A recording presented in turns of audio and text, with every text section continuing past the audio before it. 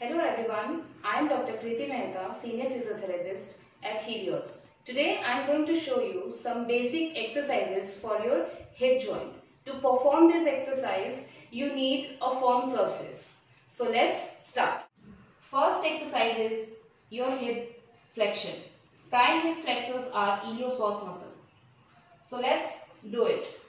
To perform this exercise, lie down on your back like this, hands on your side and take your one leg straight up. In this, your knee should be straight and foot in a neutral position. Then go down. Again, slowly up and slowly go down. Repeat it for 10 times and same you can perform it for your left side. Next exercise is bridging. This exercise is important for your gluteus muscles. So to perform this, lie down on your back, both knees bend, hands on your side. Now squeeze your butt muscle and raise your back like this. Slowly go down. Again up and down.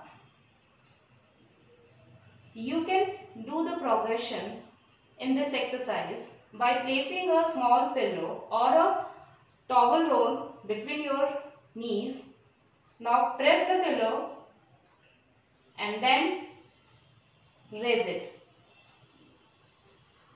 Again down, up and down. Next progression in this exercise you can do with single leg. Straight one leg, take it up and with one leg you have to do the bridging. So you can feel the tension in your right butt muscle.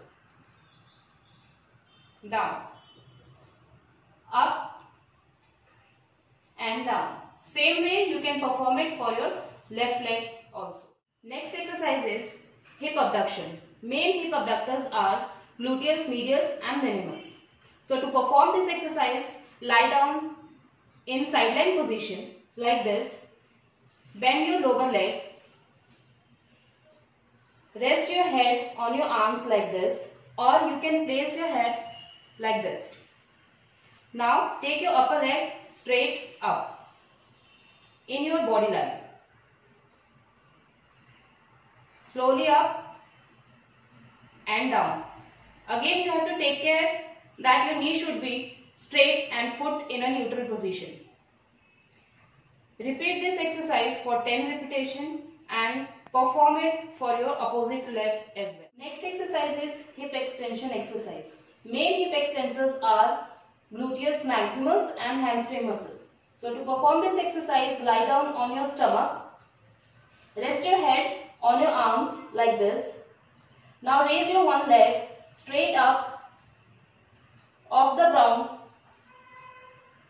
and then gradually go down. Again in this exercise, your knee should be straight and go down. Repeat it for 10 times and same you can perform it for your opposite leg. So once you are comfortable with all these exercises, you can do the progression by using TheraBands and weight cuffs. So friends, these are very simple and basic exercises for your hip joint. So keep doing it and stay home, stay safe.